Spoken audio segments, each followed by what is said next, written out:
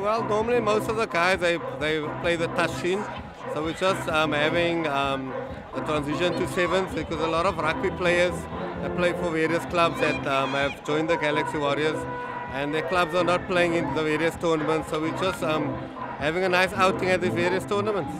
Ah, we just have a captains once a week. I mean. Um, my, my, philosophy is we don't want to interfere with the, the club's the preparation, but also um, another um, training training night for the for the players and uh, another day out. So um, it's all pre-season, so they have an opportunity to get fitter, which will help the clubs going forward. We, we started last year with a few tournaments, and it, it, it was a struggle to, to, to, do the transition. Last year we had close. Um, we had some close games. We um, lost against the two teams that played final last week by two points. This week so far we've um, we're unbeaten, but uh, you know sevens is a game you have to perform um, every every match.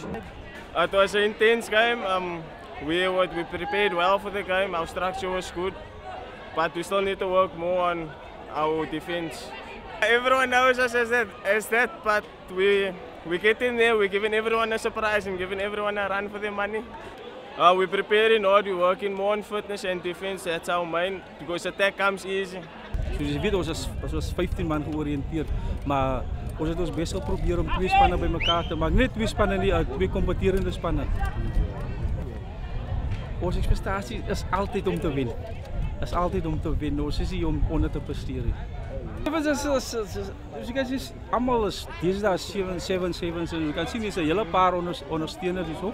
En ik denk dat die vibe gaat nog baie beter raken naar later in de middag. Weer is warm. Het weer is warm. Maar het is een lekker dag. Ik hoop allemaal genieten. De oorlog komt om te genieten. Zo ik hoop de dag gaat gewoon lekker zijn. De rugby is. Van allemaal uit de competitie om te blijven nemen. Zo wordt verder maar van verre. Kijk maar hoe dag voor. Zo dank je.